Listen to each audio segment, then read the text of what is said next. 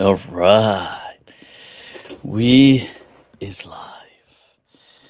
Bismillah. So, let me just send a message. And till then, you guys can tune in. As always, click like, click share, people. And I'll just let my Patreons know, my Discord group, that I've gone live. Um,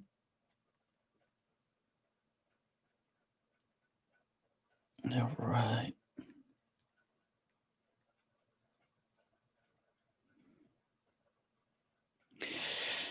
Right. Bismillah ar-Rahman ar-Rahim. إن الحمد لله وكفاه والصلاة والسلام على رسوله المصطفى وعلى عباده الذين ارتضى ومن بهداهم اهتدى وبآثار أهل المدينة اقتفى وبعد فسلام الله على القوم All right. Let me just straighten this up as well. hmm I'll take a look at your comments as well. Right. All right. Salam from Houston. Houston. Allahu Akbar. All right. Uh, right. Hussein. Uh, Banajan. Allah bless you. Likewise. Allah bless you too. Are you open to coming on a podcast? I have my own podcast, Mind Trap. But sure, I mean, you can reach out. I have to begin Mind Trap again, resume it. So I'm eagerly waiting to do that. So, inshallah. And as that's up and running, then sure. Can I join your Discord group? Um, mhm, you can, but my Discord group is part of my Patreon. So you have to, you know, in Ramadan, the chai just hits differently, doesn't it? you know, elaichi dar, huh? with elaichi and kya baat hai yaar. Uh, yeah, so you can. And uh, what you will, um, let me, if I write, so, so let me just stop this. And that's some of the verses we're going to take a look at today. But I wanted to just for a quick second just show. Yeah, so you see at the bottom the Patreon. Um, right, yeah. I'll- the patreon.com forward slash Malm. And then you can go there, and from there, uh, it does have tiers to it, so you can add yourself to a tier that you like. It has simple tiers, and then it has right up to one to one monthly consultations as well. For so, yeah, feel free, feel free. Right, vampires. BK Cheese Distributor. Hello, Mufti. Your teaching helped me embrace Islam. Well, I'm truly touched and honored. Allah bless you, bless your journey. You know, this is a journey that we are all on. You know, it's not. And we help each other along the way. That's what we do. So, yeah, Allah bless you, keep you smiling, and and Allah unveil for you His mysteries. Ameen. Samuel Imam, how are you, vampires? Yeah, that's it, man. Hashtag the Lost Boys. uh, the Lost Boys. That's it. I've always had a vampiric streak to me, you know. Vampires, huh? I had the fangs as well. Allahu Akbar. From Australia. Right. And salams from Miss Swag, Mississauga, Mississauga, uh, Mississauga. All right. Hasim says after after a long time. True. Or maybe not. I have had a few sessions in between. Maybe you've uh we've all been busy. And I've just seen your message here. I'm going through hard times, bro. Allah bless you. You know, these times that we go through that appear to us difficult and hard, they are defining us. You know, it's a a diamond being with precision carved from carbon. It's gold being purified. It's it's all how we see things. And I would say, you know, see it as don't say to yourself that in a I'm going through, say to yourself, you know, I'm going through a character developing, a defining stage in my life. Okay, this is interesting. Smile against all the odds, smile. You know, if, well, somebody could say, well, you know, what is there to smile about? You know, well, even if it's going down, let's say the ship is sinking, let's just smile then. I mean, you know, it's going down anyway. You know, yeah, this is a perspective as well, isn't it? Yeah, you know, why not? You know, somebody said, well, why? Well, why not? See, and in that, all of a sudden, the divine mysteries unveil themselves. And as you fall, Allah will catch you. Sometimes, you know, we're pushed, we're, we're at the brink of despair. And then we just fall. Has Allah ever let you down before today? You know, before this time? You know, He's caught you every time and you didn't come this far to just come this far. So hang in there. And this is for everyone. And I would like to, you know, with that, uh, just bring that into the verses I want to share with us today because um so Jazakallah, Allah bless you, Sahib, and we'll we'll pick up from there You know,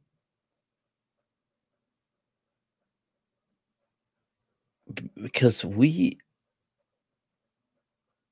right sorry i was just reading a comment अल्लाह रही ना ताकत गुफ्तार अगर हो भी तो किस उम्मीद से कहिए कि आरजू क्या हाय हाय हाय but this is this is what i'm saying that sometimes in hindsight it is the adventure that makes it. And the adventure is is is hard on the nafs sometimes but we're so immersed in the adventure. You know a if you were to bring yourself down to a state that is that is meaningful it's often not happy. Although happiness is is something we undoubtedly desire and that is to say joy. But happy i mean it's wonderful and we all want to be happy but happy is just you know not much is accomplished in just happiness happiness is it in itself is is a reward. You know, we, we absorb it. Allah. But the times in which and the states in which you are actually achieving and thriving, you'll find yourself, if you know, if you're to take a picture of yourself or a recording, you look somewhat tense almost. You know, you'll appear immersed in something, even if it's in reflection. Or as you stare into the horizon, that stare, that glance, it appears tense, but it's not a negative tension. It's actually a constructive one And this is what I want today to us for us to understand that many things that if you find yourself in anxiety, is it anxiety or is it awe? You see, many feelings deep within, they can be interpreted identically. Like, you see, what it, when a person is frightened, let's say, there is a, or, or let's say anxious, nervous, frightened could have a slightly different uh, effect. But let's say a person, person is anxious, nervous. What is going on? You know, palms are sweaty, sweating, palpitations. You know, they they've got you know something going on in a gut feeling. It's something in the gut. You know, turmoil. Now, what is the exact same feeling of excitement? It is identical to that. Hot, bracing fast, sweaty palms, blood pumping, so you may be sweating, butterflies in the stomach. The interior is the same. In one situation, a person is excited. In another, they are anxious, nervous. What's making the difference is the meaning that they are giving to it, how they are seeing something.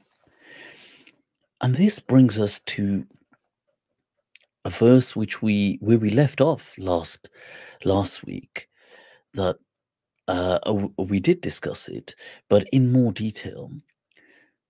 That Surah Dhariyat, verse 56 that أعوذ بالله من الشيطان الرجيم بسم الله الرحمن الرحيم وما خلقت الجن والإنس إلا ليعبدون ما أريد منهم من رزق وما أريد أن يطعمون إن الله هو الرزاق ذو القوة المتين Allah that I did not create jinn and insan except that they worship me. And we discussed this previously that why, and to elaborate upon this, to understand our story. Why did Allah create us? Why did He create anything? You know, the the Heide, the, the Heideggerian, why is there something as opposed to nothing? Why did Allah create? And that stems from our story because somebody might be going through a hard time. Somebody might be going through depression. Somebody might be going through a nervous breakdown, through anxiety, through. And then why has Allah created me like this? Why has Allah even created me? Why am I here? Why is anything here? So this taps into all of that. So, this verse we have here that وَمَا خَلَقْتُ الْجِنَّ وَالْإِنسَ إِلَّا لِيَعْبُدُونَ Ma, Allah says, did not create them. And some of the people, the kuffar of Quraysh, would worship jinn. Whatever they understood that to mean, you know, some entities that Allah says everything, you know, these things you worship and insan I did not create except, and here, illa liya'budun, as a consequence, they worship me. Ma أريد minhum من رزق وما أريد أن يطعمون I did not create them so they worship, so they provide for me, for Allah. I don't ask them for rizq, for sustenance or provision. إن الله هو الرزاق ذو القوة المتين Allah is the one who, through His infinite abundance, provides indefinitely. Nobody can do that. Your relationship like that is with nobody but Allah. No matter how or what you're doing, Allah has still written rizq for you. And with that in mind, you can see here, this was just to um, to explain. Let me just bring this further. That you've got um, that's from the I'rab al Quran, as you can see it Uh, if we read down to where it says ليعبدون, it's the fourth line down. مضارع منصوب بأن مضمرة بعد لام العاقبة. This is not lam ta'lil. This is not for causation. This is as a consequence. You see, this is Tafsir al Maraghi. Uh, as an example, there's many tafsirs that have said this. Um, it says, as you can go to the verse, خلقت الجن والإنس إلا ليعبدون on the third line. أي وما خلقتم إلا ليعرفوني. إذ لولا خلقهم لم يعرفوا وجودي ولا توحيدي. Had Allah not created, how would they have come to know Allah's being, His wujud. This is a, an important word we're going to come back to. That was to show uh, this way of looking at this verse. And here are some examples in the Quran where you see Lam al Aqiba as a consequence they worship me. Because there's many people who see Allah created us so we worship him. He created us to worship him. That could be that that's a lower order understanding of this verse. A higher order understanding is not he created us to worship him. He created us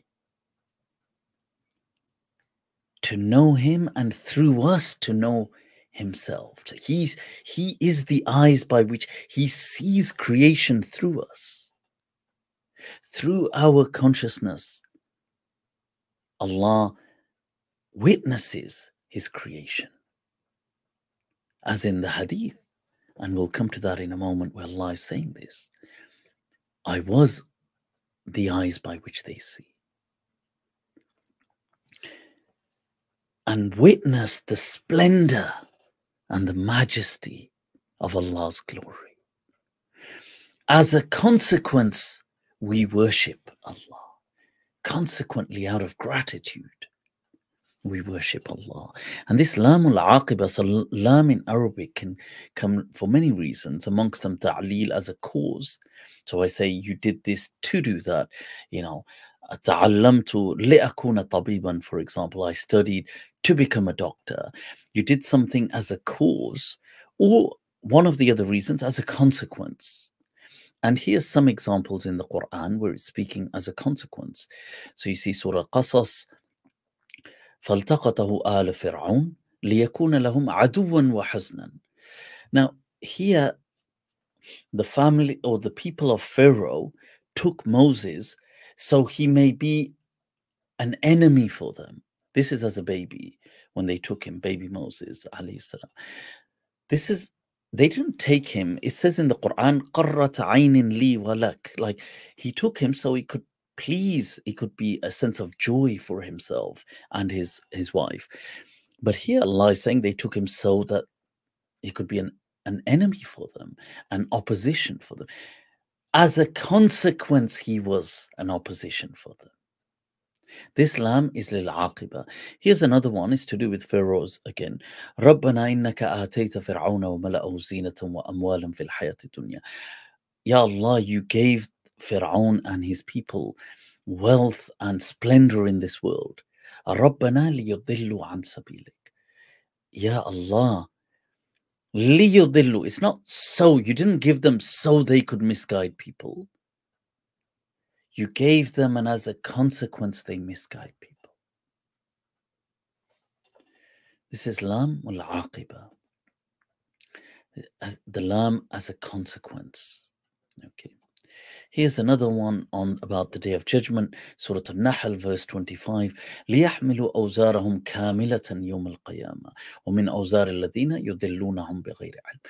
That people did sins in this world ليحملوا أوزارهم so they may carry their burden on the day of judgment. Obviously, they didn't do that so they could carry it.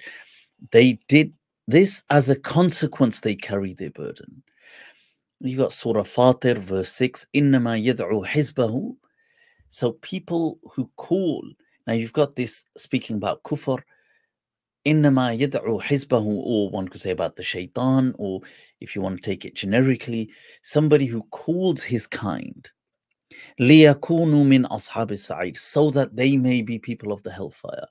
Now obviously he doesn't call them to be people of the hellfire, but as a consequence, they are people of the hellfire and a very famous verse as well.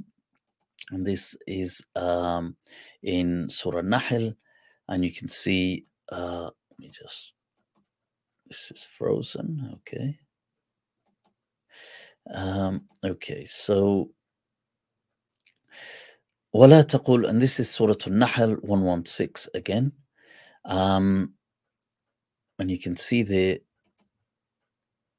that right sorry it's not uh yeah ولا تقولوا لما تصف ألسنتكم الكذب هذا حلال وهذا حرام لتفتروا على الله الكذب do not say do not describe with your tongues this is halal and this is haram now one way is to see that oh uh, in a lying way لما تصف ألسنتكم الكذب when your tongues what they describe are lies falsehood that this is halal and this is haram لِتَفْتَرُوا عَلَى اللَّهِ الْكَذِبِ So that you may be propagating a lie against God. Now here, as you can see even there, I mean, you may not see even, it says, look, the lam is lil aqiba. Because it's not, it, you're not doing it to, but as a consequence, you're lying against God. Now, I'm going to bring this all back to this verse, but here was um, another interesting part of the same verse, the tafsir.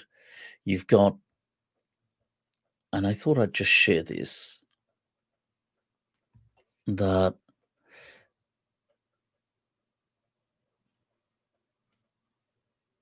all right, so um, um, this uh, what's in red right at the top a hadith لو فر أحدكم من رزقه لتبعه كما يتبعه الموت if a person tried to flee from their rizq it would chase them down to the corners of the earth. Allah. Look how Allah has written our provisions that wherever you flee to Allah says, My rizq will chase you. Rizq, good thing, provision. So, and there's a hadith that, um, so, من كانت الآخرة همه جعل الله غناه في قلبه. Whoever had focused on the union with God, the akhirah. Akhirah really is about our return to God. It says Allah placed a richness in their heart. وَجَمَعَ لَهُ شَمْلًا وَأَتَتْهُ الدُّنْيَا وَهِيَ صَاغِرَةٌ And the world shall be opened up to these people. Even if it does not want to, وَهِيَ صَاغِرَةٌ Even if the world didn't rebel, it would still be opened up to this. وَمَنْ كَانَتِ الدُّنْيَا هَمَّهُ جَعْلَ اللَّهُ فَقْرَهُ بَيْنَ عَيْنَيْهِ See, whoever chases after something, it seems to run from them. And this was a quote by Muhasibi, uh, who said that he says to his sheikh that why do people then, where where is this doubt and anxiety coming from? And he says, وَقَدْ And even though Allah has taken it upon himself and guaranteed people's uh, rizq, he said, by, but it is by two things. That one, that they have lack knowing God. They lack ma'rifah. And they lack husn thinking well of Allah always. That Allah always will catch them. And ثم قال قلت شيئا غيره قال نعم. He said Allah promised rizq, sustenance, you know, providence. Allah promised all of this, but he hid the timing in so that it may be a test for people. Now,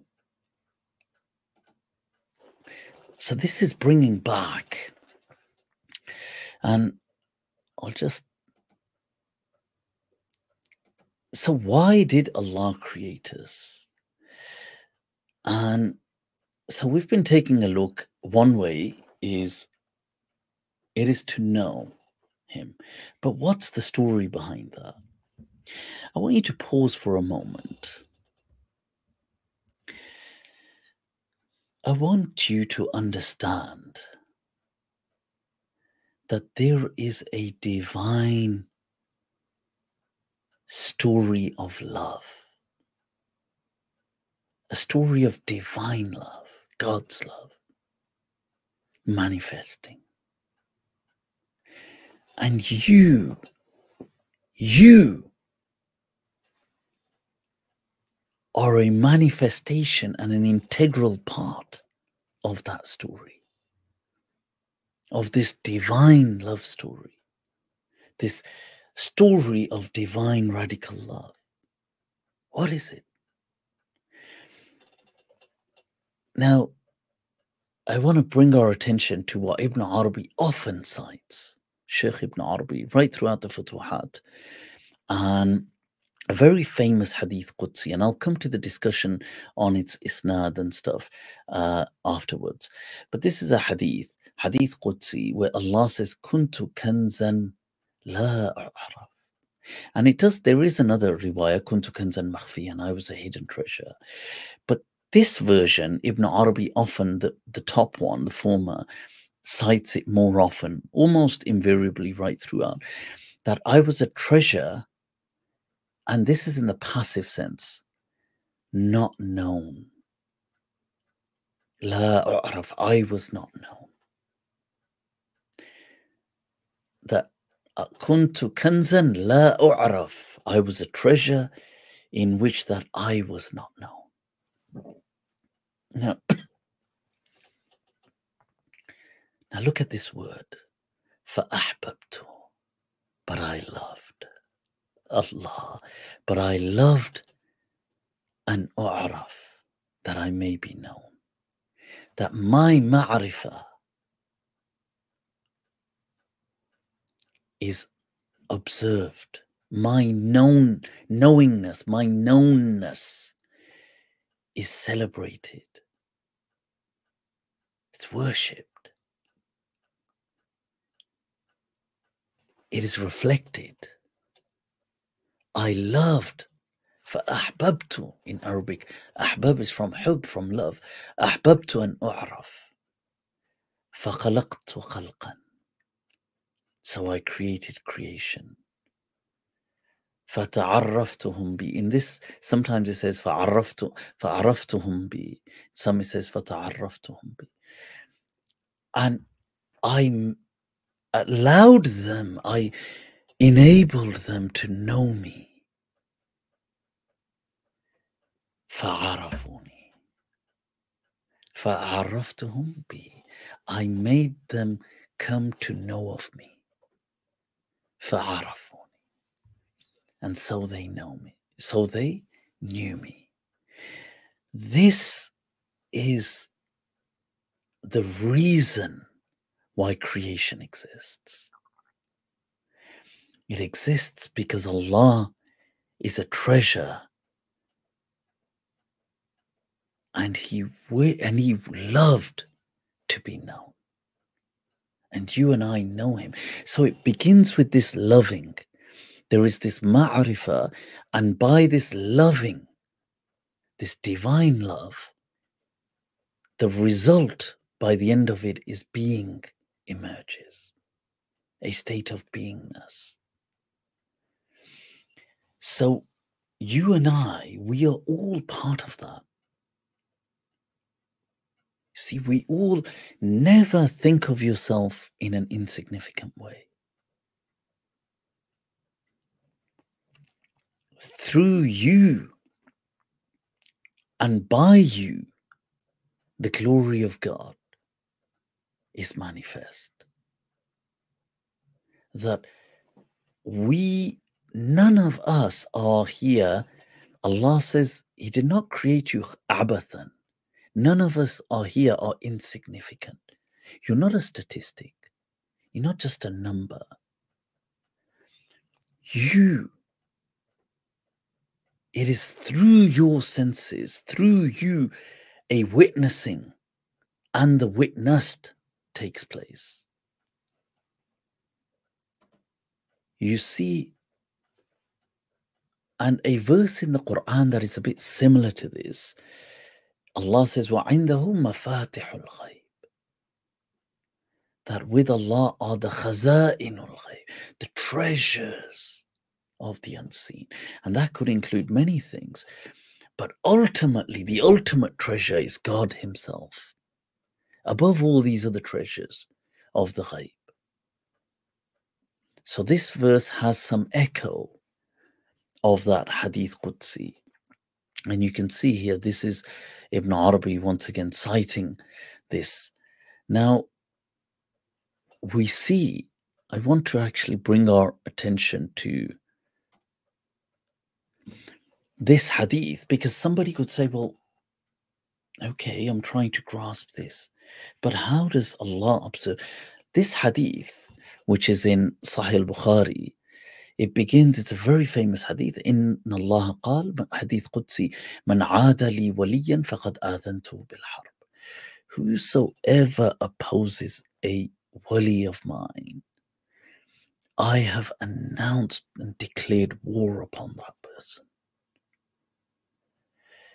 And then Allah says, وَمَا تَقَرَّبَ إِلَيَّ عَبْدِي بِشَيْءٍ أَحَبُّ إِلَيَّ مِمَّا افْتَرَضْتُ عَلَيْهِ A servant of mine, a person of mine, does not draw nearer to me except by that which I have mandated and obligated and told them to do as a duty. And they do that and they draw so close. And then it says, وَمَا يَزَالُ عَبْدِي يَتَقَرَّبُ and then my person continues to draw even nearer to me, bin nawafil, with things I haven't even mandated. but he is or she is celebrating this love, this gratitude of mine.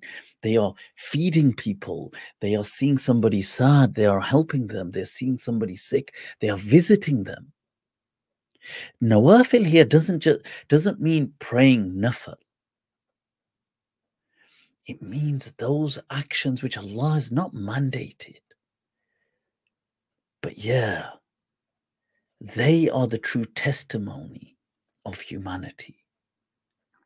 That you see somebody helpless, you help them. You see somebody upset, you console them. You see somebody poor, hungry, you feed them. That they continue until hatta uhibba, until I love them, Allah says. I love that person Who, I mean, if Allah loves us, nothing else matters. Look, فَإِذَا أَحْبَبْتُهُ When I love them. فَإِذَا And then I love them فإذا أحببت كنت سمعه الذي يسمع به I was the ears by which he's heard وبصره الذي يبصر به ويده التي يبطش بها ورجله التي يمشي بها Who Allah is seeing through your eyes بصره التي يبصر بها يبصر بها Allah, and Allah does not say, I became. One could interpret it like that. But the verse, but the actual hadith is saying, Kuntu, I was already the eyes by which they saw. They just didn't realize it. But I was always the eyes by which they saw. But now it's become a realization for them.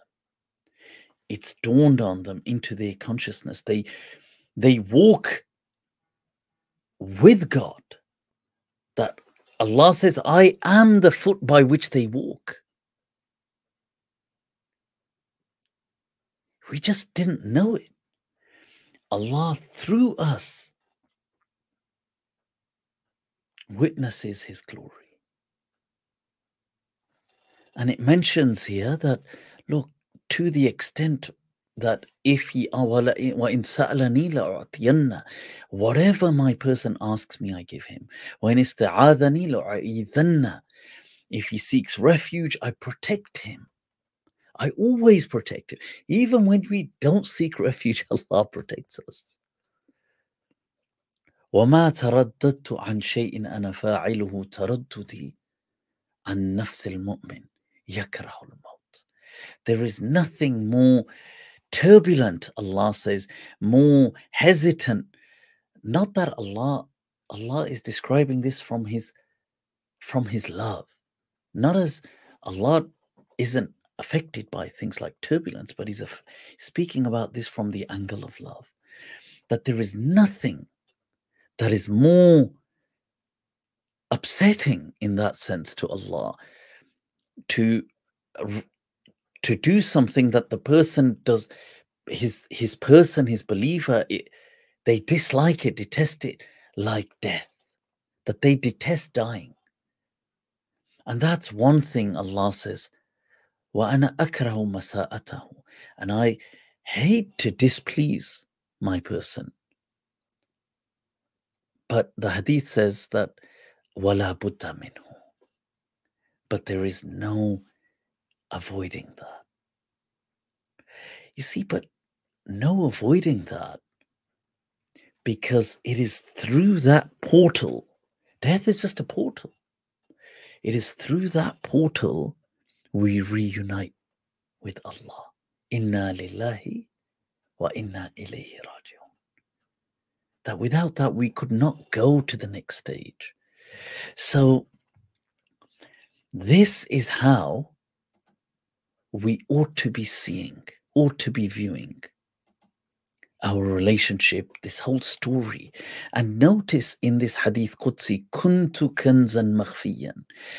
Just to play on words, kun to kun. The divine command kun. Kuntu. Kan, once again kun. Kanzan. I was just observing that, thinking, wow, you know, there's a lot of kun, be, be in the subtext, subconsciously, kun to kan zan makhfiyan or la u'raf, which is a much more beautiful interpretation of that uh, same hadith. And and this is a verse which I want to wrap this up with. So when we think of why did Allah create anything? Why did He create us? Why am I in this anxiety? You know what I said in the beginning?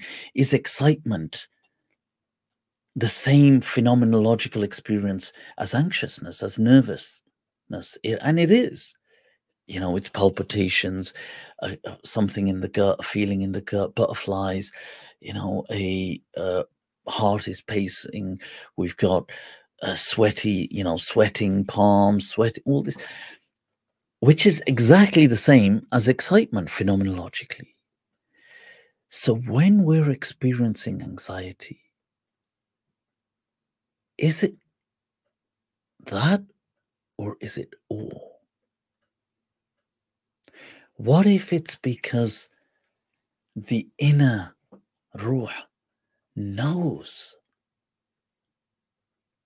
of a time. It knows of a bond. It has a yearning. When Allah said, Alastu bi rabbikum? Qalu bala. the soul knows it said indeed. And taqulu, this, that, you know, what if, and is it that later on you will say, Inna kunna an hadha ghafili? Allah. Allah says, Or is it that you will, in time to come, say, Oh, we, ghafil, you know, not that we didn't know, we got distracted. we got distracted. So, this is to me a very beautiful way of looking at not only our story, but answering the question why. Why are we here? It is because Allah wanted to be known. He enabled us, He drew Himself nearer to us, and thus we knew Him. He enabled us to know Him. He made us familiar with Him. You see. And then He knew us and He knew us knowing Him. So, whenever we struggle, whenever we think sometimes things are too burdensome, they are too, uh, you know, what what is going on? What is, Ya Allah, why, why why have you done this? I want us to bring our attention to Surah Infitar, you know, the shattering. Infitar, shattering the illusion, the configuration. Because that's what we're in. We're in a configuration. يا أيها الإنسان ما غرك بربك الكريم يا إنسان An insan can be masculine and feminine, by the way. ما غرك You know, what deluded you away from your benevolent, your kind Lord. ما غرك بربك الكريم or بربك غرك به either as in dis, de, you know it derailed you from him or it you, deluded away from him or deluded about him that Allah is taking us. He's this accountant who's going to be counting this and that, and we're going to be. He's. It's all about trouble and telling off, and he's like the parent who tells off the child, and he's like, you know, ما غرك بربك الكريم. You know, ما قدر الله حق قدره. Allah says, الذي خلقك فسواك فعدلك. created you. He f- structured you. فعدلك. And this can mean to straighten you. Look at look at the words. Or it can mean he did justice to you. هاي هاي. فعدلك. في أي صورة ما شاء ركبك. You know, in and in what form he wanted, he gave you. And what was that form? His own form. We covered that last week.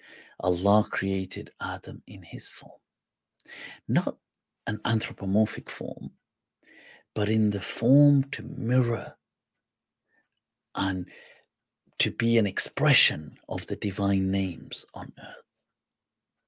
That's the form. And if you think about it, people, look, just think about this. I was thinking about this, you know. This configuration that we're in, it's like a game, like a video game, like a virtual reality, but to us it's actual. But it's a khayal. To Allah, there is only one true beingness, and that is Allah's being. We are a virtual being. We, we, we think we exist, and we do exist as far as we're concerned. But really, our wujud is it is like it is both existent and non-existent at the same time it is like the reflection in the mirror it does exist but at the same time does it because you know that yeah there's a reflection of me but at the same time you know but that's not me i'm here so does the reflection exist or does it not exist it simultaneously exists and does not exist. And such is our reality. Because ultimately, it is Allah and His love to be known, which we are an expression of that then. So I was thinking about this, you know, this configuration. Now you think of this like a game. And you think, well, okay, how do these players exit the game? And well, okay, well, they exit it, you know, as they die, we bury them into the ground and their bodies just disintegrate and they've exited the game. So you th- think, well, okay, how can players be introduced to the game, a new player? How can we bring not only a player, but a whole identity, a whole personality, a, a being, a new. Where do they come from? Should they just come out of a vortex? Should they just come out of a. So just uh, just behold the configuration. So it's configured that okay, they will emerge from within the people, from within the womb of the woman, that they will just emerge from here. So they'll be created from almost nothing. I mean, when I say nothing, I mean obviously sperm and an egg, but nothing that resembles a actual being and tiny, you know, minuscule in reality or nothing like some that. And they will then become this entity that enters this configuration then. And what they will do is they will name it. And as they name it they it begins to grow with this there is an i that I am. Ironically, the first, the commandment to Moses that I am that I am, that this I am emerges at that young stage, then, after taking a name, taking this, and then they become, they, they pick up the language fields, the, you know, the, the symbolic order register, the um, imaginary, they, they develop, and then they become a participatory player within this configuration. and then they live on until they then pass and pass through this configuration. What a, I just, I was, I was thinking, like, could there be any more epic entry and exit point it's like, who would have thought of that? Imagine you're thinking of a configuration. You're thinking, how do you bring in characters, just spring into existence or being as well? Well, they will come from within the other characters. and I know that because we're so familiar with the concept, sometimes we don't ponder over it. So, with that, folks, I I hope that's of some help. I am going to um, share my the link, and if anybody wants to jump on, they can do, and um, we can have a bit of a discussion. Maybe uh, just copy this link. Maybe about uh, yeah 20 minutes half hour and then wrap this up i wanted to also say that with regards to this hadith um, with regards to this hadith, um, that kuntu kanzan makhfiyan. Now, this hadith, um, right, I was just seeing that the stream seemed to be, um, hmm, I don't know why, because it's, you know, it's it's not Wi-Fi. So, in any case, this hadith kuntu kanzan uh, la u'raf, kuntu kanzan makhfiyan. Now, uh, generally speaking, this hadith is not valid, and people say it's fabricated, or maybe exceptionally weak or fabricated generally. It has been brought by several people, Ibn Arabi, Ibn Abdul Bar, many people have cited this hadith. Now, this hadith has been viewed by different scholars using different paradigms. So the muhaddithin their approach has been that because there is no sanad, to this hadith, even though it's been circulating for generations. It's it's right from the very traditional of Islam that it's been coming down. But because there's no sanad, therefore it is fabricated, according to the muhaddithin. According to other scholars, that this hadith is sahih. And Ibn Arabi, and the thing I love about Ibn Arabi, another amazing fact, uh, the, you know, fun fact, is when he's discussing this hadith in his Futuhat, he says that this hadith, he says, he, he says himself, and by the way, he's contrary to what some people may think, he's actually very clued up with hadith studies. He cites his own sanad to Sahih Bukhari. He often, when he's discussing chains, he'll discuss them. He quotes his uh, uh, mashayikh in hadith. He quotes a certain chain going from the students of Abu Bakr ibn Arabi through Abu Bakr ibn Arabi, the great hafid of hadith. He discusses when he cites hadith, he says them and he says the sanad to them. So he's not unaware of these things. He says that this hadith, he says it is sahih min ghayr al-isnad. Okay, he says sahih ghayr al-isnad, but that it is not through the sanad, but bil kashf. He says it is something that we have come to learn its validity through our or imaginal learning.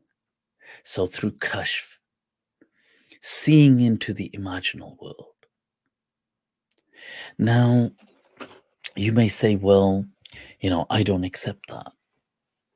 Because the imaginal world, that is the world of, you know, the unconscious mind. That is the world of dreams. That is the world of the remaining nubuwwah. So the hadith in Sahih Bukhari, the Prophet said in a hadith that prophethood would stop except so prophethood in the hadith the prophet said that a one category of prophethood will continue after me. This isn't to say people that come like you know Ghulam Mirza Qadiani and these people. Not at all. But prophet said dreams. He said that dreams will remain and open, will be the realm of also prophethood, but it is not the prophethood that you're thinking like messengers. And what it means is in Arabic, the word tanabbu. Today we don't use these words as much, and I know this is where people misunderstood Ibn Arabi as well, and we'll discuss that another time. And I know Ghamidi Saab and a few people have you know, I, you know, they've really missed the mark, unfortunately, with people like Sheikh Ibn Arabi.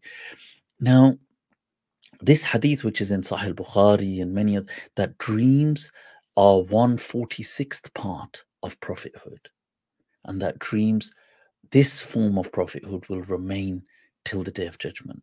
That and it's not the kind of prophethood to become a prophet, but what it means is that there is a realm in which you do have this connection to what is being revealed to you in a way, but it's not clear so people sometimes they see things in dreams. Sometimes they will see the future. They will have premonitions. I mean, there's a lot of scientific studies on this. So Ibn Arabi says that looking into that realm, we have come to learn that this hadith is sahih. So that is Ibn Arabi doing full disclosure.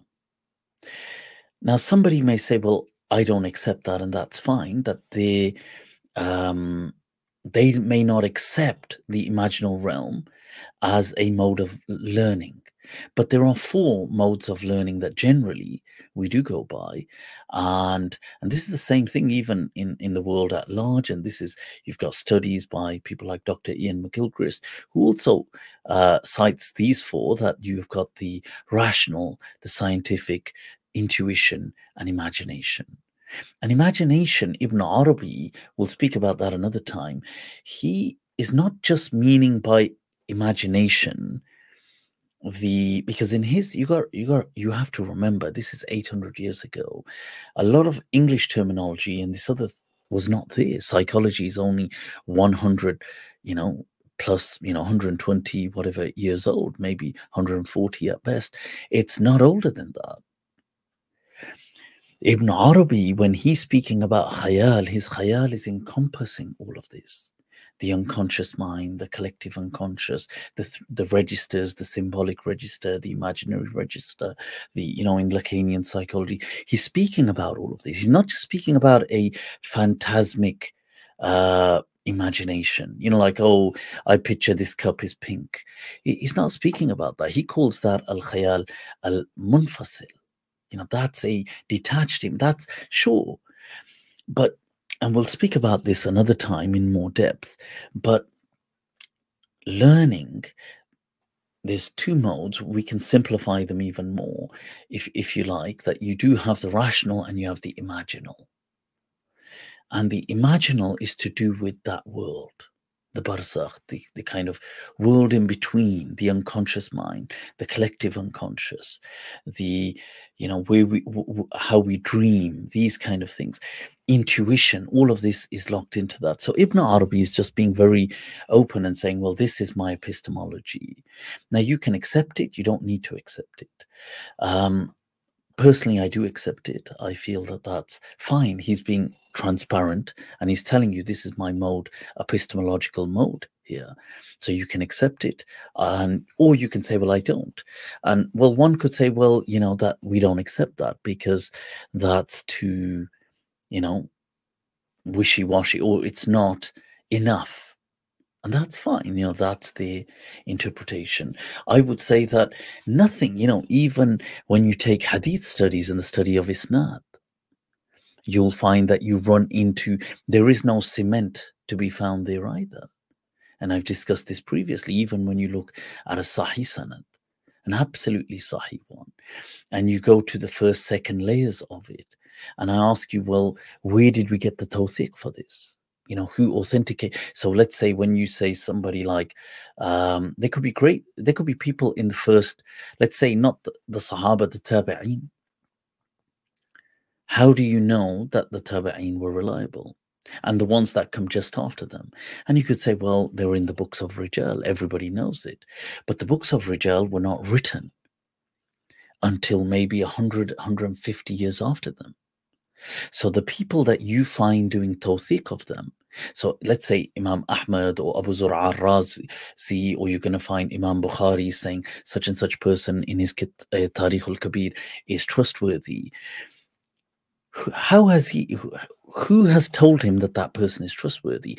Now he will source, he will cite people that are his teachers. So for example, he might say, oh, you know, Abu Zur'a Razi said this. Now, or he might cite someone saying that. But where did they hear it from? Because they didn't meet that person either. In fact, their parents didn't even meet that person. Maybe their grandparents lived in the time of that person. So, who, where is the data coming from? It's there are blind spots. You see, it's coming from blind spots. So now there's there's a certain amount. You know, this is the uh, incompleteness theorem. You know how you have Gödel's incompleteness theorem. Within Hadith studies, you have the incompleteness theorem, and this is it. I mean, that's how I would present it. It has an incompleteness, a, a Gödelian um, equation to it that you can't. It gets to a point where it breaks down. So the certainty you were looking for is not found in that either. I mean, it's good enough. I'm not to say I'm not trying to knock it in saying no hadith are sound. I'm not saying that at all. But what I'm trying to say is each to their own. These are not mutually exclusive. People who accept the esoteric uh, this way of is, uh, of learning within Islam, they accept Sahih as well. Of course they do. I mean, it's not, but not everybody that just accepts the way of the Muhaddithin accepts the way of the mystical. And that is, I suppose, to us, you know, we have to choose that. Other than that, I thought I'd, you know, I hope that's of some help. Uh, Allah bless you all. Let me share the link and I'll bring on some people have a quick chat. There's been a, let me see if there's a super chat. Um, somebody said string theorem. So no, so the, so theorem is usually used when something is absolute, and theory where it isn't. Uh, it's still a theory. So string theory is more a theory. Um, but yeah, scientists are moving away from it. I, I don't know. It's it's a strange one that is. Well, uh, it is wonderful to see you again. This love and respect from Brooklyn. Allah, Allah bless you. Mercy, Lord. It's been a while. It has indeed. Allah keep you blessed. I mean, and smiling. I mean, it's a pleasure, honestly, to see you here. Uh, somebody saying they want to join. Um, Right. How much? Not enough, you know. I need to start hitting it hard and heavy. I was trying to, uh, you know, target a bit more, make dua for me. I mean, I think I pulled my back, you know. Salams Mufti, what are your thoughts on the recent debates between Adnan Rashid and the Ahmadiyya community? I haven't seen any recent ones, and I don't. I did see one debate a while back, that was, though and when I say while, I think it's been a good few, at least maybe was it like half a year or something, or or it feels like that. I don't know. But I saw one debate, and to be honest, I don't. Hmm, you know, each to their own. I I didn't feel that. Um, uh, you know, brother Adnan. Um, like I feel, unfortunately, the Qadiani uh, kind of got the upper hand in that. And this is the the problem, you know, that you know these Qadianis, right? So I think from my perspective, and I could be wrong, maybe, you know, a lot was going on with Brother Adnan. I don't know.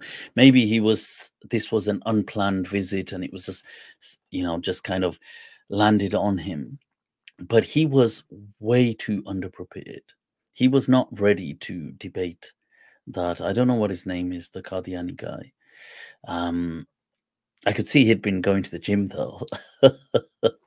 but, he, you know, Adnan was, I don't know if generally he is, but in that discussion that I saw, and I don't know whether he's had more since then, but in that discussion, it it was a very poor performance, and it was uh, you know it, what it did is it just made the Qadiani's argument appear as though they're strong, which they're not. They're ridiculously absurd. and um, but yeah, so you know when people are debating, you have to be careful. You know you have to and i get it sometimes we can be you know sometimes maybe we're not expecting a debate and it becomes a debate and maybe there's a lot going on in our mind. You know sometimes people are going through tough times as well and we don't know. But you see when these things are being recorded and yeah and you just don't and you know and you, you may underestimate the opponent. and you know that nuksan kuch zyada ho jata so khair. Right i'm going to don't overlook my super chat somebody said. Let me just go back see a super chat and then i've got somebody on. I'll bring them on. Who's that? Hussein hussein uh a super chat. Sahab, I want to hear your thoughts about Ghulam Ahmed Parvez uh, from Pakistan who has passed. His thoughts are more aligned with you. Rehan, Allah keep you blessed for the super chat. Uh, do you mean by that Ghulam Ahmed? Because there's obviously Ghulam Ahmed Qadiani. We're not talking, I take it you're not talking about him. You're talking about Parvez, the, who's associated with the kind of Quranist movement. I you see, I've never really looked into him profoundly, but I do feel that he is, uh, this is what I've come across, that he's misrepresented. Um, but I could be, I don't know, because I'm, I'm speaking once again without having researched this, but my impression is people say he rejected Hadith. But then I've heard that he's not, he didn't reject Hadith. He was just reasoning with them. You know, he was being more rational and being more um, so yeah, that's uh, in any case, you know, look, anybody who um, has done some khidma for Islam, Allah bless them. I mean, and you know, and people may have got things wrong along the way. People may have made mistakes, and, and we all make mistakes, and none of us are perfect. But let's not, you know, this is why today's lesson was about, you know, what is it all about at the end of the day? It's not about these little things. You know, you have to look beyond that. I was that the super chat, by the way. Um, Rehan Guman, once again, Allah keep you blessed. Uh, quick question: Should we pray three times a day, like we like the we like the Quran teaches us, or five times? Hadith is telling us, may Allah bless you. Uh, uh, uh, uh, Shabab, Allah keep you blessed for the super chat. And right, so let me just see this indeterminate being which determines the determinants of existence, determinations of singularity one. Va. That is, uh, yeah. You know, on a side note, people misunderstand this thing of al wujud al wahid. They think that people are what people are saying is Allah's wujud and our wujud is together as one. They're not saying that. What they're actually saying is our wujud is the one in question. you see, here's the irony. People that negate that, they're so certain of their own wujud that they think it's as certain as God's wujud. And in that is a folly, you know, uh, and in all trueness, an arrogant one That that they fall into that you know ما غرك بربك الكريم you know يا إنسان يا إنسان you see we we we we assume that this I is so aggrandized that it is you know me who I am You see, and the truth is, our wujud is not as certain as Allah's wujud. But that is the illusion of the configuration that we're in. So, yeah, it amuses me, you know, how insan becomes so. Uh, it's it's it's amusing to to watch. Um, yeah, you know, it will be great. I will reach out to Firas Zahabi, inshallah. Let me bring back my um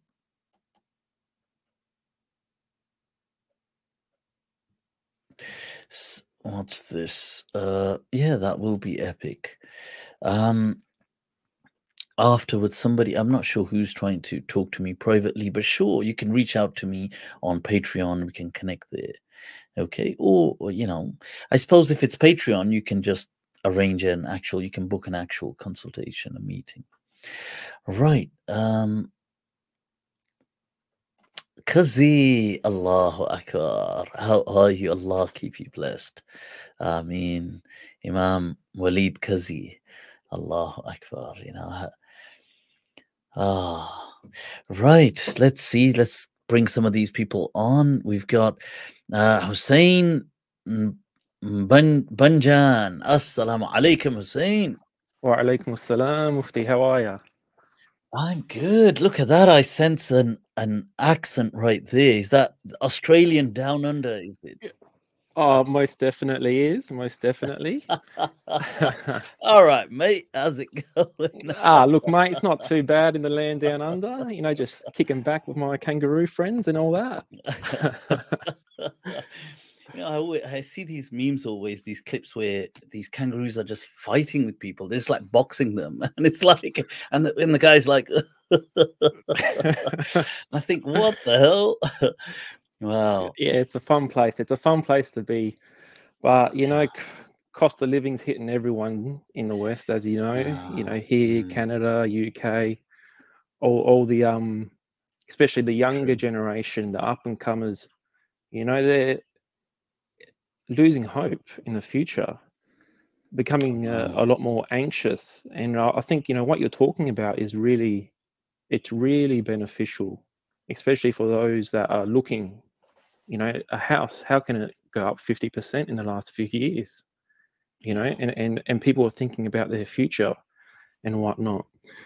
And, you know, I've been on a similar spiritual journey over the last few years, sort of as like what you're doing, you know, going down the esoteric path and just investigating and really like you've been saying, you know, just being in the present, it's so beneficial and it's so soothing on that fire that burns, you know, within you, you know, because yeah.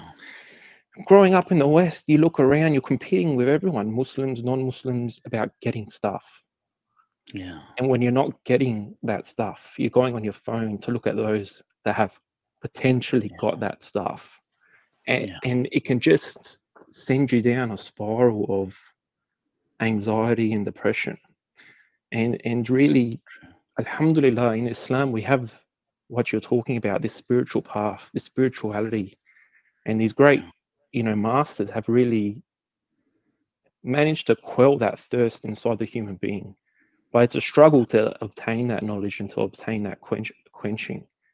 You know, it's subhanAllah. And, you know, when I think about myself, what really quenched it was learning about Allah, becoming a knower. That you know, they say a knower of Allah. You know, because I mean, let's face it. What's the prominent thing going around in the Muslim community? It's the Wahhabi Salafi movement, and that's totally opposite to what we're talking about. It's very, you know, materialistic when you look into it, and um, yeah, just just for myself, I, am so happy. You know, I've I've been, you know, especially when you brought up life's a game, I've been thinking about this recently, and and when you get to these sort of levels of you know internalization of spirituality, and and you realize that reality isn't real, but at the same time, it is very real. You know, it's easy to sit back when you've got a fridge full of food, you've got money in the bank, and go, oh yeah, you know, reality is not real but then, Uh, uh, you know, all you got to do is think about our brothers and sisters in third world countries and, and imagine going to them and saying, oh, you know, reality is not real. They'll punch you in the face. you know, uh, going through mm. struggles and, and, and, you know, starvation and hunger. So, you know, one lesson I took from this, from, you know, the masters would say, as you ascend through this, you know, spiritual journey, it becomes sort of intoxicating and you don't want to descend to hmm. the general population to help them. And they're saying the whole purpose of ascension in, in this is so you can descend and take on their burdens and to help them in their journeys, you know.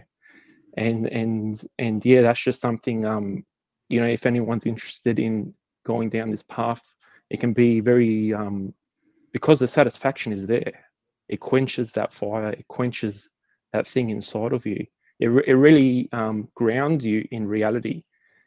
And yeah. and and that grounding you don't want to come back to reality you know? And um but the purpose of gaining knowledge is, is to come back to the level of those of, of the general population.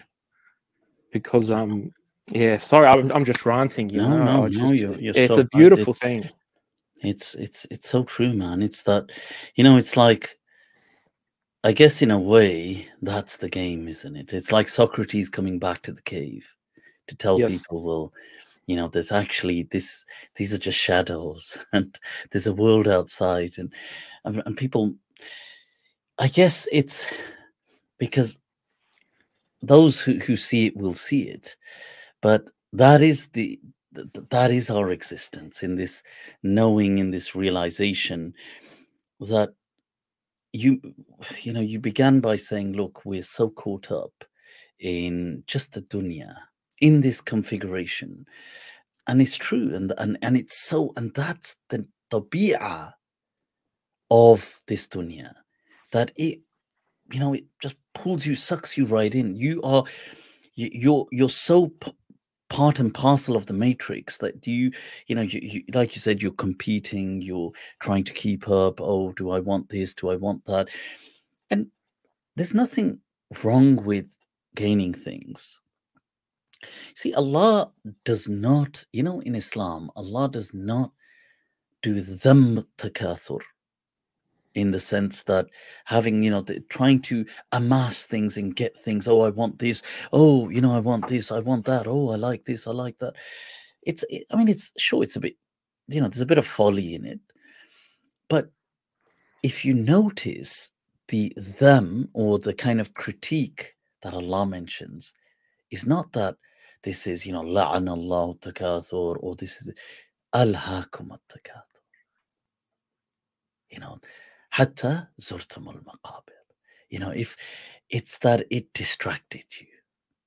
Yes. That you, it was not that it was necessary. like a person.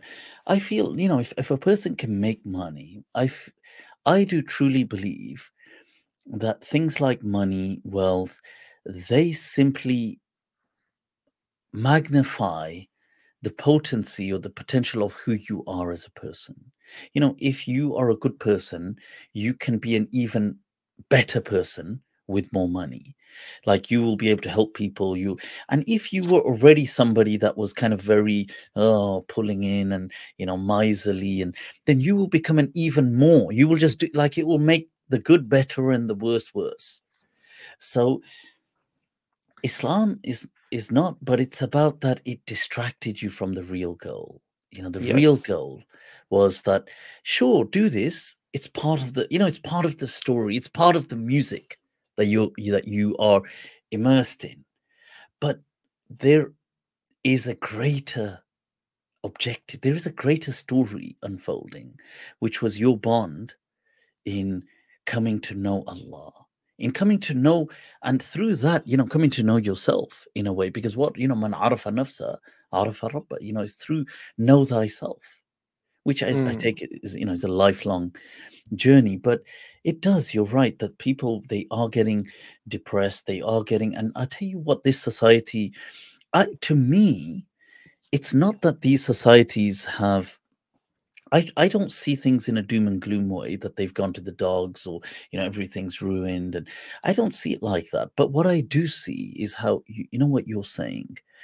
There is this anxiety, there is this depression, there is this increasing rates of it. Younger people are more depressed than older people, and it makes no sense. They grow up in affluent kind of luxury, relatively speaking. The issue is shukr you see, because we don't have like a sense of gratitude, it it's what keeps the balance always there that we feel even when we like we have something we're grateful we don't have it we still oh damn yeah. okay i really want it but you know look i'm still so much i'm still so grateful allah has given me this that's missing yes. so when we compare with each other we you know that there's that uh, i've cited often this study of the um in psychology, and it's a sociological experiment as well, where they will offer a person, uh, like they give a person a prize of money, and it's uh, with the caveat that that the other person that is with them gets, let's say it's a million pounds, the other person gets to say a figure that you will keep. Any percentage, he could say half, he could say 1%, he could say anything. He could say, you get to keep 500,000. He could say you get to keep 5,000. He could say you get nothing. But whatever he offers, if you accept it, you both get what the allocated amount. If you decline it, nobody gets anything. And he only gets one chance. Now, this is very telling about the human nafs because in those studies, they found that unless a person was offered at least about 30% of the overall, at least, they would decline it. So let's just put that into logic and rationale. You see, they walked in through the door. Like if we're sitting here now and you said, you know what, give yeah, give Mufti 100,000, give him 50,000 pounds, 50,000. I mean, that's hell of like I walked in, I'm going to walk out 50,000 pounds richer I mean, what more could I ask? Ah, but you're going to walk out £950,000 richer. So we live in comparison, unfortunately. So for me, this Schadenfreude of knowing that you, you know, you so and so, you think you're going to give me fifty thousand and get nine hundred. I'm I'm more happy you losing that than me gaining fifty.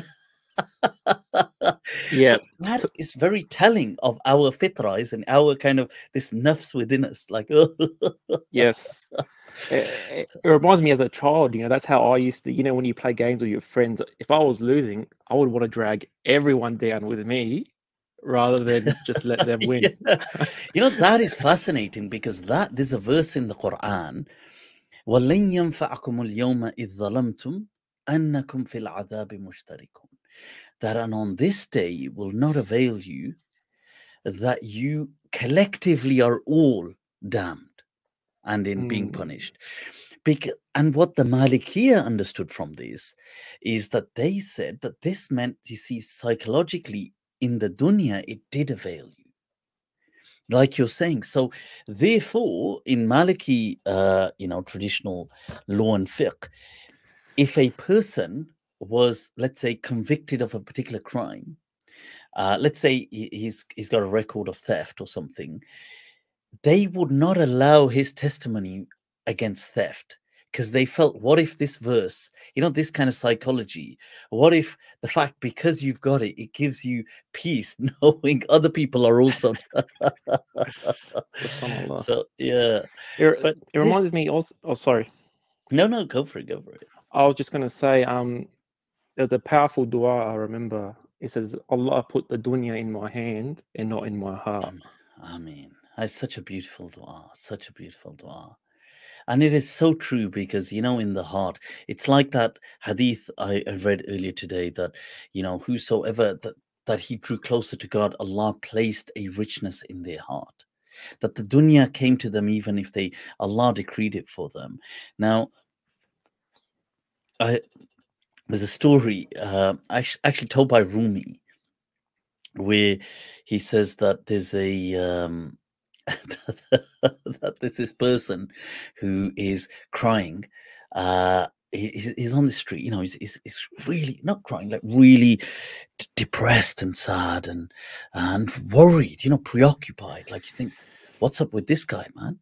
So somebody approaches him and they're on their way uh, to some masjid and they approach him and they say, well, what's going on? He says, I lost a dinar you know, a whole gold piece is a dinar. Dirham was the silver piece. He says, I lost a, a dinar. And and you know, and and the person looks at him and thinks, Yeah, salam. I mean, look how yeah, the sense of cloud of worry upon this person. So he says, you know what? Like he thinks in his heart, he gets the idea that look, let's make this person happy. You know, Allah will make us happy. So he gets a dinar. He goes, you know, you take my dinar you know, Allah bless you, and goes off. And this person, he goes off to pray and whatever, and he's spending his day. He comes back, and the person still where he was, and he's sad and he's, you know, he's he's kind of overwhelmed with, and he says, Yar. he didn't say Yar, but he could have, I suppose. Farsi means friend. He says, he says, what's wrong with you? I, I saw you a while back and you lost a dinar. I gave you a dinar. And he says, Yeah, that's true. He says, But I was thinking, you know, what if I had my original dinar? I would now have two dinars. Uh, so that that's the fitra of insan. It, it really is you know. Yeah. and you know the flip side to that is you know i was thinking the other day you know our effort is spent so much on, on on building you know for our lives for our families for our children.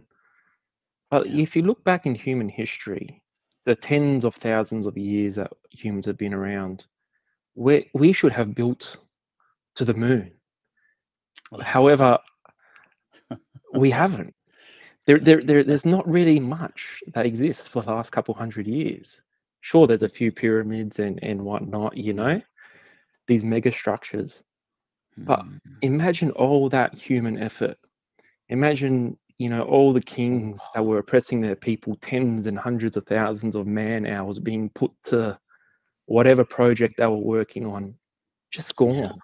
just in dust, you know. So So subhanallah. It's so true that, and I guess part of that is that we have not seen ourselves as ultimately one, as a collective, as this greater, because insan, you see, this is this is the, the beauty insan is us, you, me, but it's like a collective noun as well, in a way used as insan. Like we are a collective human story as well. Like we are our individual stories, but we are that story of, you know, there's the human story unfolding from when Allah taught us His names, you know, the the manifestation of His names, the power the, that's within them. So, but I guess we've been disconnected, and we are disconnected. Um, I put myself in that as well. That you know, unfortunately, we you know, in in these day to day hurdles, it just becomes all about me, me, me, me, me. yeah, it sure does. And was that you that posted about the hope and the hope and the mice test and the mice being dropped into the water? Did you post about that on? I, I have done on a, a few occasions. I'm not sure. Maybe somebody else has. oh, well. okay. I, I was just going to mention it just to the viewers. You know, just yeah. to show that show the power of hope you know especially you know throughout the quran you see the stories of people of muslims of believers being oppressed destroyed thrown into fires or whatnot and the power of hope so you know you had that one scientist he done a test in the in the 60s with a couple of mice he put mice in a bucket of water to see how long they could swim for a lot of them would only swim for a few minutes and then drown he done a test again the mice would swim for a few minutes. He rescued the mice, took them out of the water, dried them for 15 minutes, and then put them back into the water. And keep in mind that they swam to the point of failure before he took them out. So, how long do you think that those mice swam for after that? It was 60 hours because of the mice had hope that they were going to be rescued. SubhanAllah, you know. Oh. So yeah, there's it's, always it's hope. An inner, it's an inner game, isn't it? Yeah, it really inner, is, isn't it? It is. It is. There's there is light within us that we just cannot fathom. We cannot, you know, to us, we're this this within the, you know, this is me, that's you.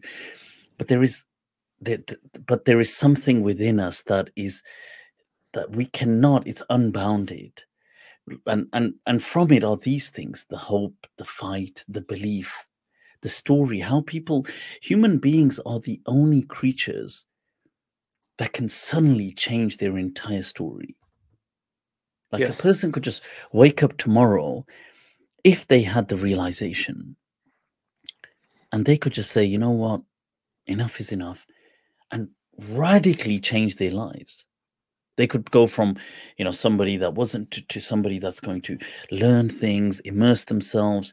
They, they could just become. It's incredible what they could become. One hundred percent. Yeah, but no, that that, that is insane. you know, this this this this what you know some call the third chimpanzee. Yes. When you when you look at us, it's yeah. Yeah, and you know, we're not robots. We're not pre-programmed to do this, this, and this. Although we may have been doing ABC for our whole lives, and they may be bad habits. But if you were to think about it logically, if we wake up in the morning and chose consciously our actions, every human yeah. being doing something that you may want to do has those same two arms, two legs, two eyes that you're doing. Yeah.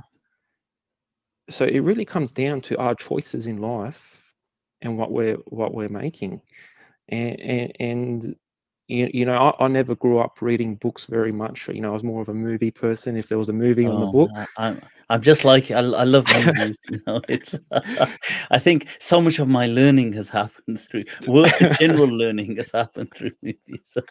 You know and yeah. when you choose to to when you make better choices your life will become better. Yeah. Yeah um Oh, and wow. I, I, love the the the lam lil I, I love the what we're learning about this the last few sessions. It, it really I always thought that there was more to the Quran, and, and, and just yeah. these conversations that you're going on. It really is expanding my knowledge and especially my deep love for it. Um, Maliki Madhab, amazing. Thank you for introducing me to it. I love that. You're doing it. You're doing you know, it. start, started praying like a Maliki at home and whatnot. Allah And- and- Yeah. I, I, don't know. It just feels, subhanallah, it, it, it feels natural, if that makes sense. does, yeah. That's you- what you it's know? about. You know, it's about that returning to nature, removing these shackles, this kind of state of nature. I don't mean nature, nature, the wilderness. Sure, I mean Yeah. that's different, but I mean salah in a state of nature. And and there's things that the Maliki madhab often emphasizes, even about nature, about which, okay, you know, in my I sometimes don't live up to because you know we're in this busy world. But the actual the Maliki teaching is that sujood should be done only on something natural, ideally. No, I mean it doesn't mm-hmm. invalidate the prayer, but you should be done on the actual earth or grass or anything natural. I mean, you know, here I've got a carpet. You know, this is our, I suppose, my kind of falling short. But truthfully, there is something very natural about the school of Medina, and yeah, so that's yeah, that's definitely wonderful there hear. There definitely there is something that really sits well with with the soul in the school of Medina.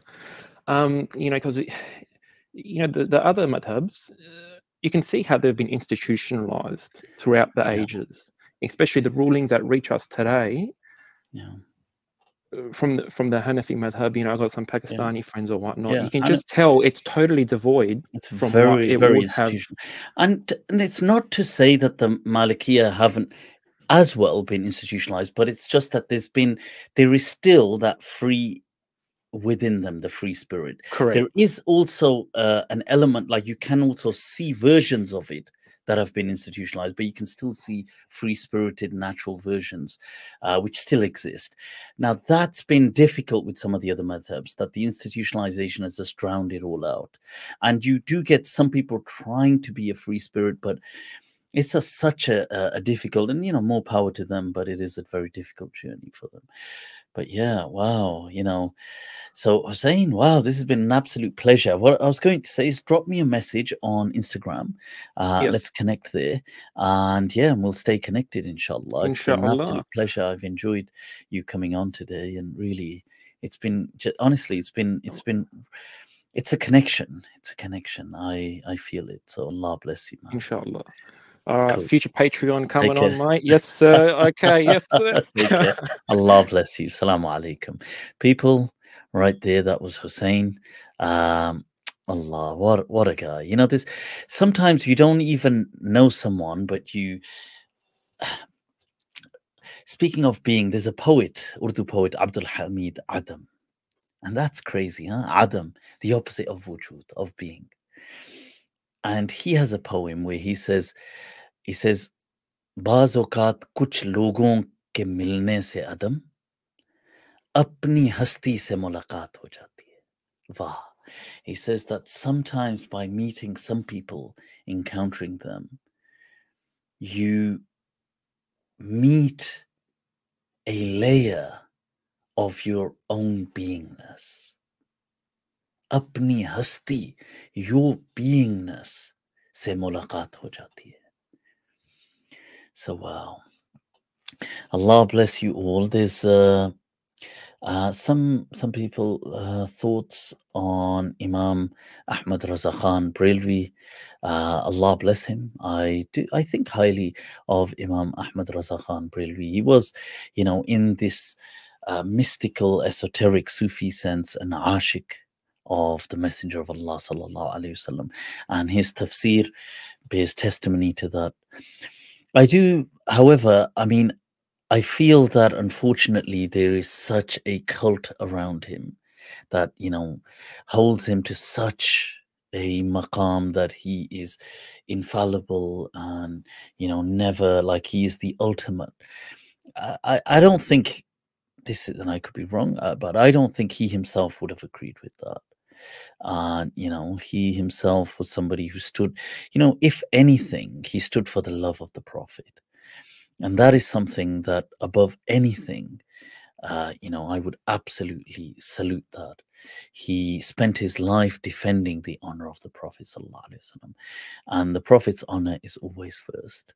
So I, you know, I absolutely love uh, that and adore that about him. Does it mean that, you know, would I personally feel that all his views have to, or we have to? I don't, I don't do, uh, do that kind of taqleed of him, and and notwithstanding, you know, his his him being a great lover of the Prophet I don't feel that we should have like a cultish outlook towards him where you know uh, let's say imam ahmad raza khan may allah bless his afterlife that if if he said it then we have to like even if today something you know somebody said oh he said that the i haven't read this but i watched the clip they said that uh, he said that the earth the solar system is geocentric that the earth, sun revolves around the sun. And because Imam Ahmad Raza Khan said it, we should today say this. I mean, this, this is silly kind of talk. I don't know whether he said it, but even if he said it, you know, it doesn't matter. Like, you have to understand that it is all, this is our journey to Allah. And it's to that light. And what is the true guide for us is the messenger of Allah.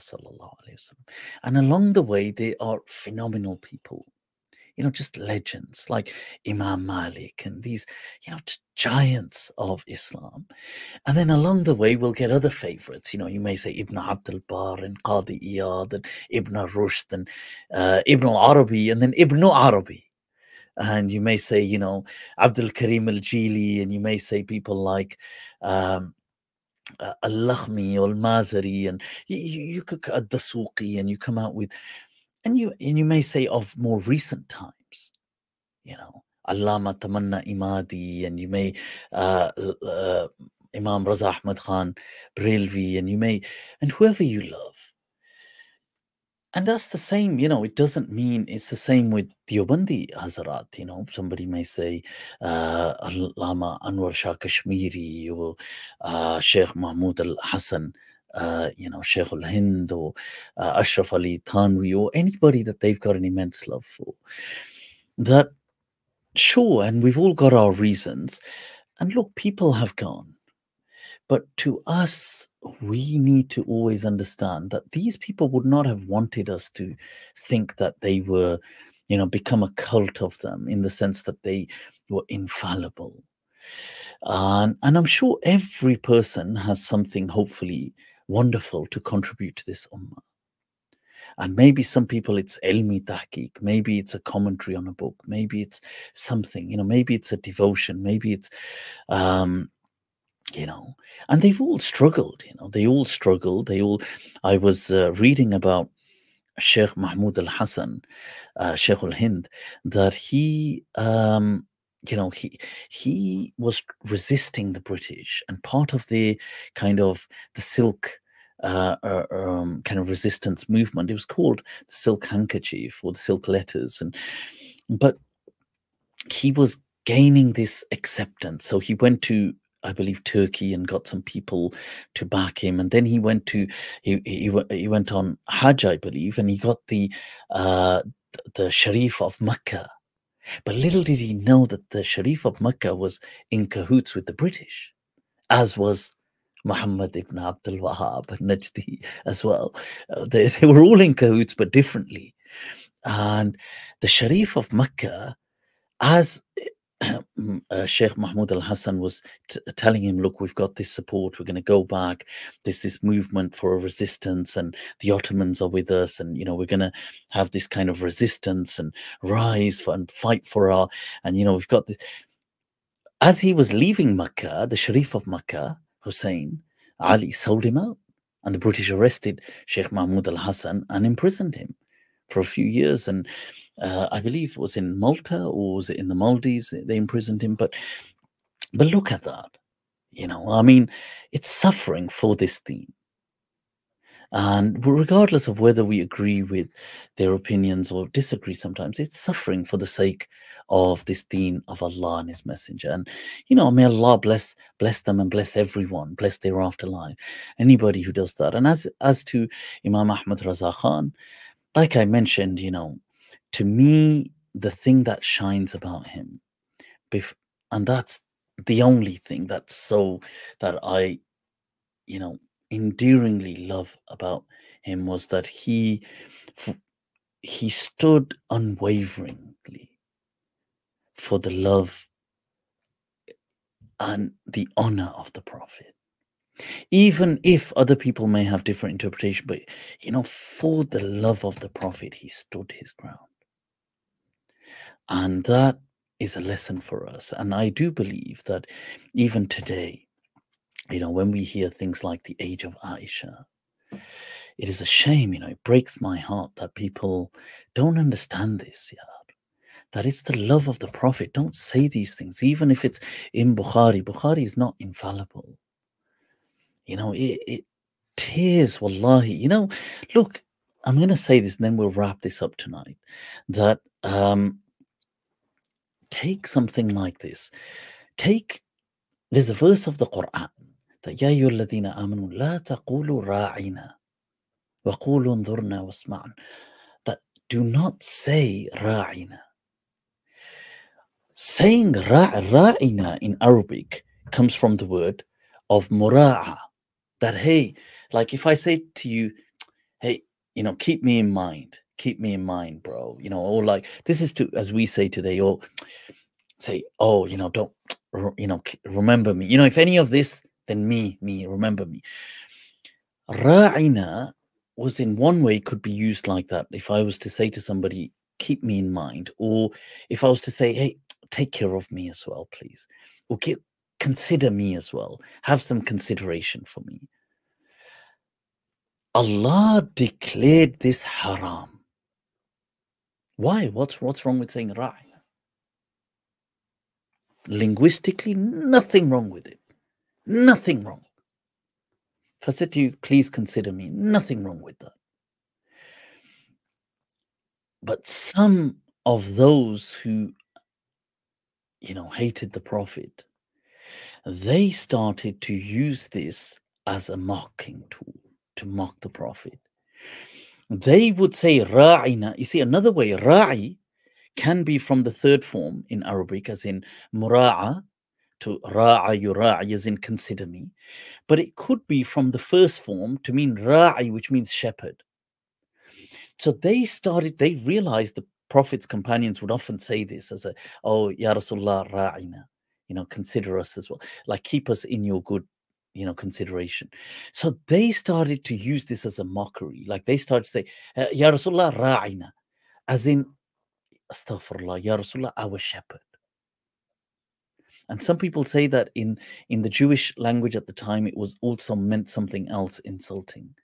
So they would use it to mean that allah declared this sentence haram you can't even say something that was absolutely halal to say. Say unzurna wasma'na. Say look, uh, please uh, look at us and listen to us. Use different verbs. Don't use these. Why? Because some haters, some detractors, some whose hearts are engulfed in darkness are insulting our prophet with that word, even though the word is fine. Ra'ina in Arabic is absolutely fine word. Allah declared it haram. How do you think about something that comes to us through Khabrul Ahad that there's so much discussion on that they say the Prophet married a child? Even if you believed he did based on what is inconclusive evidence, you still would abandon such a thought because this is the honor of the Prophet. Allah saying you can't even say ra'ina. And you know who makes a big point of this as well? This very same thing that I'm saying was Allama Sa'id Asad. Amazing, you know, and he was a, one of the most outstanding Brilvi ulama of our time. I absolutely admire and love him. So much of his on YouTube, and he took a stance for the honor of the Prophet in, in this age of Aisha. And I'm so, so glad he did. Allah bless his afterlife. He passed away now. I mean, people, I've got to wrap this short now. You know, I've got to get uh, some quick sahur in. Right. So uh, pray for me. Allah bless you. You know, inna ma'al usri yusra, inna ma'al usri yusra. Ease is already on its way. Right, so just never give up, people. Never give up. Right, Allah bless you all. Salam alaikum. And those who want to connect with me, somebody said about connecting uh, Instagram. Um, uh, you can email me. You can. Uh, I don't really check Facebook, um, and Patreon go on patreon of course you know you can i'm sure you can still message me on patreon without even being a patreon so you can but yeah, um, and then you'll have access to the Discord if you want. And cool. Allah bless you all and keep you all always smiling. Right. So there it is. That's the Patreon thing in the bottom right hand corner. But this beautiful verse. Ya ayyuhal insan ma bi kareem. Alaykum wa khuda hafiz.